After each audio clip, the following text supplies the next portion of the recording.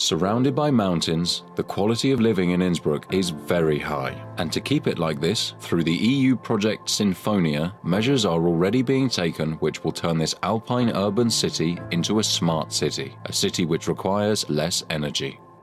With the help of Sinfonia, social housing will be retrofitted, the district heating grid will be optimized, and the use of natural and renewable energy sources will be prioritized. These actions aim to lower primary energy requirements by 40 to 50% and raise renewable energy by 30%. The city sewage will be developed into a power station.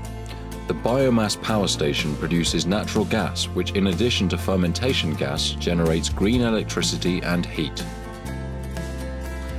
Part of this energy runs the sewage plant itself, the remaining energy is transferred into the power grid. The spare heat supplies the Baggersee restaurant as well as the Hallenbad in the Olympic Village.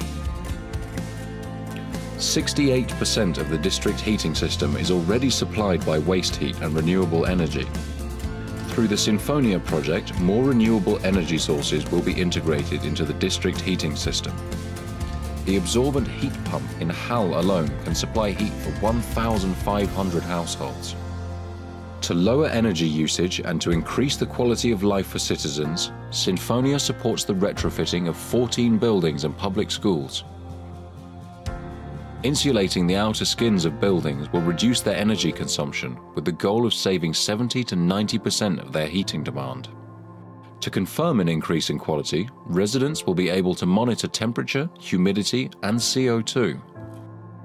Public buildings, such as schools, will be transformed into smart buildings aiming to better use renewable energy sources.